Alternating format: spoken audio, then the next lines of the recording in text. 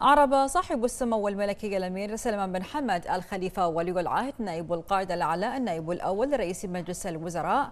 عن الفخر والاعتزاز بما يقدمه أبناء مملكة البحرين عبر مختلف مراحل التاريخ من أعظم صور التضحية والفداء ومعاني المسؤولية تجاه وطنهم وأمتهم. مشيدا سموه بالروح المعنوية العالية والكفاءة التي يتحلى بها منتسب قوة الدفاع المشاركين في دعم الشرعية وعملية إعادة الأمل بالجمهورية اليمنية الشقيقة وتأمين وصول المساعدات الإنسانية لشعبها الشقيق ضمن قوات التحالف العربي بقيادة القوات المسلحة بالمملكة العربية السعودية الشقيقة. ونوه سموه بأن احتفال مملكة البحرين بالتاريخ 17 ديسمبر من كل عام بيوم الشهيد. يأتي تكريما وتخليدا من قبل حضرة صاحب الجلالة الملك الوالد حمد بن عيسى الخليفة أهل البلاد المفدى القائد الأعلى حفظه الله ورعاه بأبنائه البررة الذين ضحوا بأنفسهم فداء للوطن ونصرة للحق. سائلا الله العلي القدير أن يرحم الشهداء ويشفي الجرحى وأن يعيد أبناء البحرين المرابطين سالمين. جاء ذلك لدى تفضل صاحب السمو الملكي ولي العهد نائب القائد الأعلى النائب الأول رئيس مجلس الوزراء حفظه الله اليوم بزيارة إلى الحرس الملكي. ولدى وصول سموه إلى ميدان الاحتفال كان في الاستقبال العميد الركن سمو الشيخ ناصر بن حمد الخليفة قائد الحرس الملكي والرائد سمو الشيخ خالد بن حمد الخليفة قائد قوة الحرس الملكي الخاصة. كما تشرف عدد من كبار الضباط بالسلام على سموه. وبعد أن عزفت الفرقة الموسيقية السلام الملكي تفضل صاحب السمو الملكي ولي العهد نائب القائد الأعلى النائب الأول رئيس مجلس الوزراء بتفقد طابور العرض الذي اصطف لتحية سموه. وقد بدأ الاحتفال بتلاوة آيات من الذكر الحكيم. بعدها ألقى العميد الركن سمو الشيخ ناصر بن حمد الخليفة قائد الحرس الملكي كلمة بهذه المناسبة.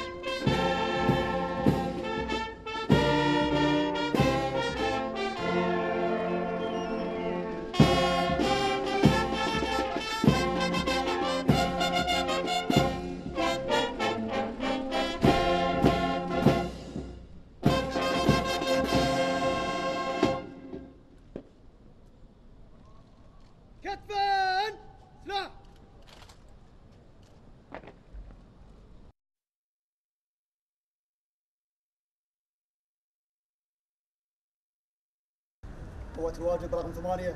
جاهزة للتفتيش سيدي.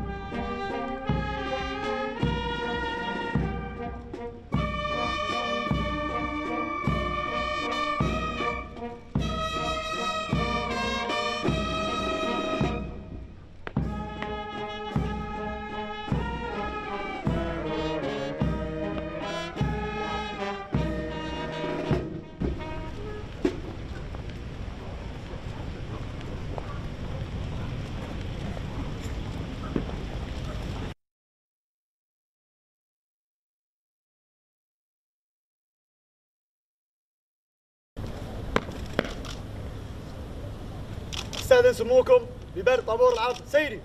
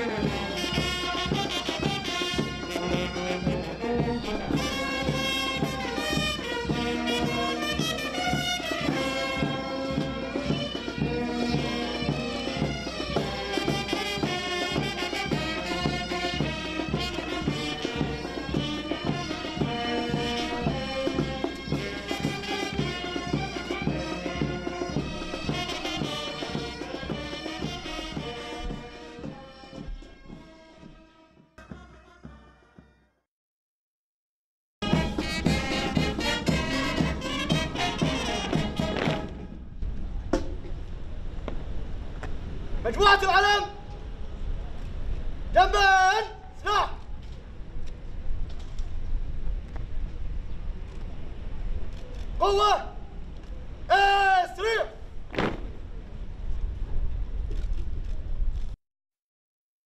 سيدي صاحب السمو الملكي الأمير سلمان بن حمد آل خليفة ولي العهد نائب القائد الأعلى النائب الأول لرئيس مجلس الوزراء حفظكم الله. أصحاب السمو والمعالي والسعادة ضيوفنا الكرام السلام عليكم ورحمة الله وبركاته. سيدي في هذا اليوم يتشرف الحرس الملكي بحضوركم الكريم وبهذه الرعاية الدائمة من لدن سموكم حفظكم الله. سيدي يتشرف العميد الركن سمو الشيخ ناصر بن حمد آل خليفة قائد الحرس الملكي بإلقاء كلمته.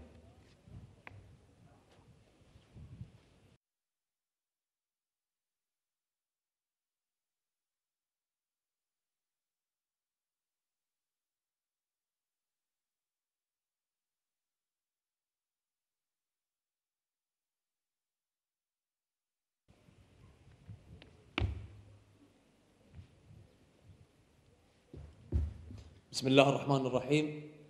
سيدي صاحب السمو الملكي الأمير سلمان بن حمد آل خليفة ولي العهد نائب القائد الأعلى النائب الأول لرئيس مجلس الوزراء حفظه الله ورعاه أصحاب السمو والمعالي والسعادة الضيوف الكرام السلام عليكم ورحمة الله وبركاته. سيدي نتشرف بزيارتكم للحرس الملكي في هذه الأيام الوطنية المباركة التي عمت مملكتنا الغالية. كما نتشرف في هذا اليوم بتكريمكم لأبنائكم من قوة الواجب ثمانية التي عادت مؤخرا من جبهات وساحات القتال من أرض اليمن الشقيق نصرة لديننا الحنيف ودفاعا عن عروبته وسندا لشعبه ولحكومته الشرعية ضد قوى الشر والظلام. سيدي كما أننا نعتز ونفخر في قوة الدفاع بتنفيذ التوجيهات السديدة والرؤية الحكيمة لسيدي حضرة صاحب الجلالة ملك البلاد المفدى القائد الأعلى حفظه الله ورعاه بالوقوف مع الشقيقة الكبرى المملكة العربية السعودية دفاعا عن حدودها الجنوبية. سيدي تنفيذا لأوامر سيدي صاحب الجلالة القائد الأعلى حفظه الله ورعاه فأن قوات الواجب قد تم تعزيزها لتشمل مشاركة كافة من القطاعات والوحدات العسكرية في قوة الدفاع بالتناوب. مع إخوانهم بالحرس الملكي المكلفين بقيادة الواجب. وجاءت هذه الأوامر والتعليمات الفذة والسديدة من لدن قائدنا الأعلى لتعزيز مفهوم بناء القدرات التدريبية والقتالية أثناء العمليات لمنسوبي قوة الدفاع في مناطق الواجب على جبهات القتال. سيدي سمو نائب القائد الأعلى لقد كان لدعمكم ومساندتكم لأبنائكم في قوة الدفاع وتذليل كافة الصعاب أمامهم في كافة الواجبات. والمهام أكبر الأثر فيما وصلت إليه قواتنا في هذا المستوى العسكري المتميز. وفي الختام أدعو الله العزيز القدير أن يحفظكم ويحفظ قائد مسيرتنا. سيدي حضرة صاحب الجلالة ملك البلاد المفدى القائد الأعلى وحفظه الله ورعاه سندا وذخرا للأمة العربية والإسلامية وأن يديم عليه دوام الصحة ولباس العافية وأن يحفظ مملكتنا من كل مكروه. والسلام عليكم ورحمة الله وبركاته.